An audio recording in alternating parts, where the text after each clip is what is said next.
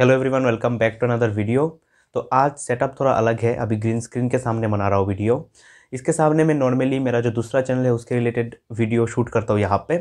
ऐसा नहीं रहता ग्रीन नहीं रहता, उस टाइम पे ये ग्रे हो जाता है। तो आज कुछ एक टॉपिक मैं शेयर करूँगा आप लोगों के साथ, जो बहुत ज़्यादा इंपॉर्टेंट रहेगा। और चाहे हम लोग न्यू है बिगिनर है, या फिर हम लोग मतलब बहुत ज़्यादा स्केलिंग कर रहे हैं ड्रॉप शिपिंग में, ये जो प्रॉब्लम है जो मैंने देखा है इंडियन ड्रॉप शिपिंग में, ये चीज़ हमें कभी भी आ सकता है और हो सकता है कुछ लोगों को पता भी नहीं है कि ऐसा प्रॉब्लम आता है। जो ज़्यादा स्केल कर देते हैं, उनको तो शायद पता भी नहीं चलता ये चीज़। तो मैं बताता हूँ क्या होता है, यहाँ पे क्या हुआ था मेरे साथ। आपको पता होगा कि अभी मेरा एक कैंपेन चल रहा था कुछ दिन पहले, जिसमें मेरा कभी टेन करीब टेन थाउज़ेंड का सेल आ गया था। तो अभी उसी का जो शिपिंग प्रोसेस है, वो चल रहा है। तो उसी के टाइम मैंने ये चीज़ फेस किया। तो क्या हुआ, अभी आज से मान लीजिए दो दिन पहले, मैं देख रहा था कितने ऑर्डर मेरे शिप हो गए, कितने ऑर्डर शिप होना बाकी है। तो मैंने देखा कि तीन ऑर्डर ऐसे है कि उसका टाइम चला गया है शिपिंग का, जो एक एक्सपेक्टेड डेट था, वो चला गया है, लेकिन वो शिप नहीं हुआ। तो पहले तो मुझे लगा कि शायद कस्टमर ने एक्सेप्ट नहीं किया तो उन्होंने क्या किया? मतलब रिटर्न हो गया आरटीओ हो गया रिटर्न टू ओरिजिन हो गया। तो मैंने क्या किया? जाके उसका ट्रैकिंग डिटेल्स जो है उसमें जाके चेक किया। तो मैंने देखा उसमें लिखा हुआ था, जो रीज़न लिखा हुआ था उसमें था कि जो कस्टमर था, वो एक्सेप्ट नहीं किया। उसमें कस्टमर रिफ्यूज़ टू एक्सेप्ट ऐसे करके लिखा हुआ आता है। एक्सप्रेस बीज और ई कॉम एक्सप्रेस ये दोनों ही ज़्यादातर सारे जो ड्रॉप शिपिंग कंपनीज़ है, वो यूज़ करते हैं। तो दोनों में यही चीज़ लिखा हुआ था। तो मैंने तब भी एक बार कन्फर्म करने के लिए मैंने क्या किया कस्टमर को फ़ोन लगाया। तो जब फ़ोन लगाया मैंने, तब मुझे पता चला मतलब कस्टमर को मैंने पूछा कि आपने ऐसे ऐसे ऑर्डर किया था हमारे वेबसाइट से, लेकिन आपने एक्सेप्ट नहीं किया, क्या मैं रीज़न जान सकता हूँ या नहीं? तो उन्होंने बोला कि नहीं, ऐसा तो मेरे हाँ ऑर्डर तो मैंने दिया था, लेकिन ऐसा तो कोई डिलीवरी के लिए मेरे पास आया ही नहीं। पहले कस्टमर ने ये बोला। तो मैंने सोचा कि ऐसा कैसे हो सकता है? तो मैंने बोला कि इस तारीख को आपके पास डिलीवरी होने वाला था, जो उसमें दिखा रहा था। तो उसके बाद मुझे पता चला कि उनके पास अननोन नंबर से कॉल आया था। ओबियसली जो डिलीवरी पर्सन होगा, उसका नंबर अननोन ही होगा। तो उन्होंने पिकअप ही नहीं किया फ़ोन तो ऐसे दो दिन हुआ, दो दिन बाद क्या हुआ? उन्होंने पिकअप नहीं किया तो इन लोगों ने रिफ्यूज़ टू एक्सेप्ट करके इसको कैंसिल कर दिया। उसके बाद क्या हुआ? बताता हूँ और भी एक चीज़ है, ये जो कैंसिल हो जाता है ना ऑर्डर उसके रिलेटेड भी एक बात करूँगा। कुछ कुछ केस में हम लोग कंप्लेन रेज कर सकते हैं मतलब ऐसे जैसे मैंने कस्टमर को फ़ोन किया फ़ोन करके दोबारा उसको और एक बार डिलीवरी के लिए दे सकते हैं। तो बताऊँगा किसके साथ मुझे ये प्रॉब्लम है जिसमें ये चीज़ नहीं कर पाया मैं। तो ऐसे ही मैंने दूसरा एक कस्टमर को फ़ोन किया तो उनका ऐसा था कि वो किसी दूसरे जगह में थे उस टाइम पे तो उन्होंने बोला कि मैं मैं आज नहीं आ सकता, आप मतलब नेक्स्ट संडे को आ जाओ डिलीवरी करने। मतलब उनका जो वो शायद सर्विस में है सर्विस में संडे को रहते घर पे तो मुझे तो एड्रेस जो दिया था हमारे जो उसमें पोर्टल पे जो ऑर्डर के टाइम पे वो तो घर का एड्रेस था। और वो रहते हैं नॉर्मली अलग जगह पे। तो डिलीवरी एजेंट को लगा होगा कि आ, ये तो ऑर्डर लेने नहीं वाले तो इसको भी सेम जगह पे डाल दो रिफ्यूज़ टू एक्सेप्ट सेम चीज़ हुआ और एक किसी और के साथ भी। मतलब तीन लोगों के साथ ये चीज़ हुआ और तीनों जो कस्टमर है उनको चाहिए प्रोडक्ट उनको चाहिए लेकिन किसी कारण से वो एक्सेप्ट नहीं कर पा रहे। एक मतलब उनको संडे को चाहिए। दूसरा, क्या है, वो पिकअप ही नहीं किया कॉल और तीसरा जो है, तीसरा भी ऐसे ही है। मतलब कॉल आया पिकअप नहीं किया। तो ऐसे तीन ऐसे तरीक़ों के लोग मिले। तो अभी क्या हुआ, मैंने जब देखा कि जो ऑर्डर प्लेस किया था, और ऑर्डर का भी खास बात थी, मेरा जो तीन ऑर्डर थे, तीन डिफरेंट जगह से प्लेस हुआ था। एक था मीशो से, एक ग्लो रूट से, और एक था शॉप वन ज़ीरो वन से। तो तीनों का जो सर्विस क्वालिटी है, वो मुझे पता चल गया।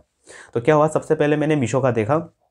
तो मीशो में जैसे ही पहला ऑर्डर रिफ्यूज़ टू एक्सेप्ट था, लेकिन कस्टमर ने तो रिफ्यूज़ नहीं किया था उस ऑर्डर को तो मैंने क्या किया मीशो से कॉन्टैक्ट किया। तो मीशो को कॉन्टैक्ट करने के बाद मुझे पता चला कि ये जो रिफ्यूज़ टू एक्सेप्ट हो सकता है कि लिखा है, लेकिन ये लोग दोबारा और ट्राई करेंगे।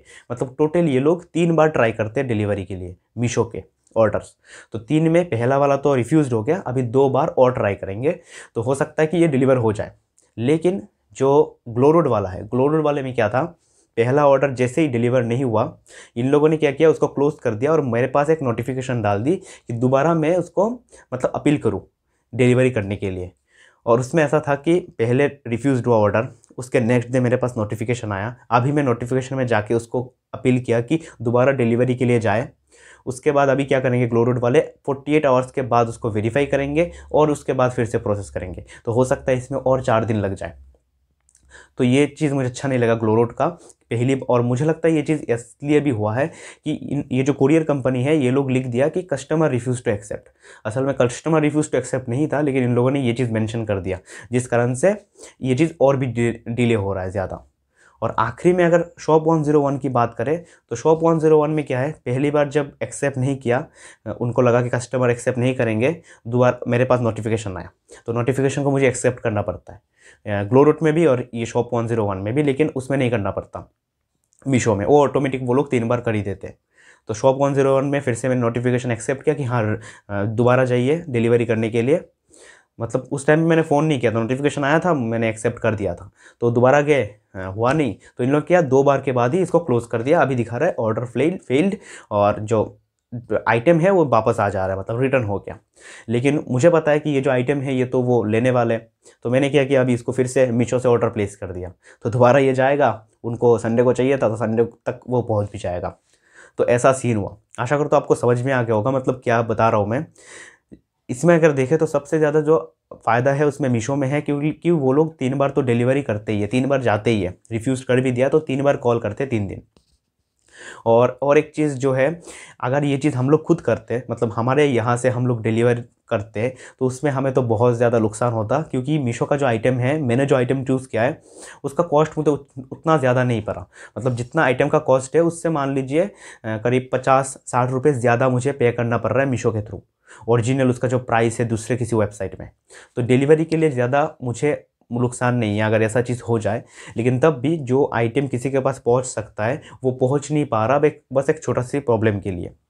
और ये चीज़ जो प्रॉब्लम है, ये किसी वेबसाइट का प्रॉब्लम नहीं है, ये ज़्यादातर प्रॉब्लम जो लोग, जो कस्टमर है, वो लोग जो एड्रेस देते हैं उसका।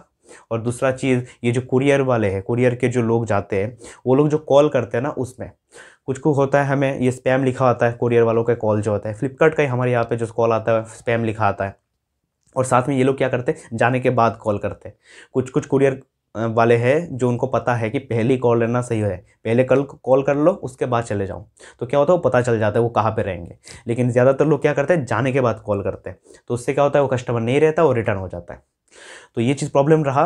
लेकिन मीशो का ये है कि मीशो तीन बार करेंगे तो हो सकता है वो ले ले। लेकिन बाकी दोनों में जो चीज़ है वो मुझे सही नहीं लगा। ग्लोरोट और शॉप वन में। तो वैसे भी आ, मैं आप लोगों को रिकमेंड यही करता हूँ कि सबसे पहले मीशो में ढूंढिए जो चीज़ है। और मीशो में क्या है ना मीशो में सारा चीज़ एक्टिव है। तो एक्टिव में जो काम हो रहा है वो अच्छा होता है। और जो ग्लो रोट और शॉप वन ज़ीरो वन है उसमें शायद एक्टिव नहीं है। हो सकता है सेम सेलर हो। सेम सेलर होगा तो वो एक्टिव रहेगा। लेकिन तब भी अगर आप उसके रेटिंग्स में रेटिंग्स में जाओगे और प्रोडक्ट का रेटिंग में तो देखना कि मीशो में हमेशा ज़्यादा रेटिंग मिलता है। मतलब क्या? ज़्यादा लोग परचेस कर रहे हैं वहाँ से। तो इसी कारण से मैं ज़्यादा रिकमेंड तो मीशो ही करता हूँ आप लोगों को। और अगर आप भी मीशो के साथ करना चाहते हो तो नीचे मैंने लिंक दिया है मीशो का, उससे आप डाउनलोड कर सकते हो और साथ में ग्लोरोट और शॉपी वन ज़ीरो वन का भी मैंने लिंक दिया है। और भी बहुत सारे वैसे वेबसाइट हैं, कितना अच्छा है वो तो मुझे नहीं पता। अगर आपका एक्सपीरियंस है दूसरे वेबसाइट के साथ तो ज़रूर शेयर करना कमेंट में। मेरा एक्सपीरियंस तो इन तीनों वेबसाइट के साथ है तो इसी कारण से मैं आप लोगों के साथ शेयर कर रहा हूँ। और और एक चीज़ मैं आपको आपको बताना चाहता हूँ मतलब पूछना चाहता हूँ आप लोगों से। जैसे मैं तो न्यू हूँ इस चीज़ में ड्रॉप शिपिंग में, लेकिन दूसरा बहुत सारी चीज़ है जिसमें मेरा इंटरेस्ट है और मैं काम कर रहा हूँ बहुत दिनों से। तो एक एक पॉइंट है, अगर आप लोग किसी, कोई इंटरेस्टेड हो तो ज़रूर बताना कमेंट में कि ये जो यूट्यूब में वीडियो बनाता हूँ, मैं बनाता हूँ, ऐसे वीडियो बनाने में आप लोग इंटरेस्ट हो या नहीं? अब में से कोई भी इंटरेस्टेड हो या नहीं, वो ज़रूर बताना कमेंट में। तो यही था बस इस वीडियो में। आशा करता तो वीडियो आपको अच्छा लगा होगा इन्फॉर्मेटिव लगा होगा। अच्छा लगा तो ज़रूर लाइक करना इस वीडियो को और बने रहना इस चैनल के साथ। Thank you for watching and stay connected